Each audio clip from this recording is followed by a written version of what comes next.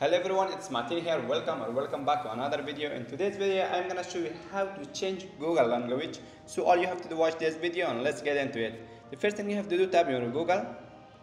So guys, as you see in here, my language is not English. It's different language. It's Indonesian language. I don't know you heard about it or no.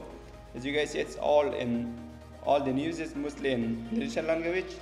Okay, and here when I tap in three dots and here you can see setting tap on setting. And here you can see tap on language and region tap on language. And here you can search language it's search language. You cannot change google language at all. You can only change search language guys. Just tap search language. And here it's bahasa indonesia mine is i want to change it to us english.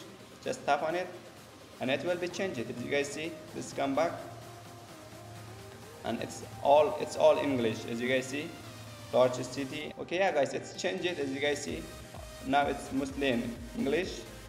So guys if you want to change all the icon in here like discover snapshot search collection more you have to change your mobile language change search search language google but you cannot change like all these icons.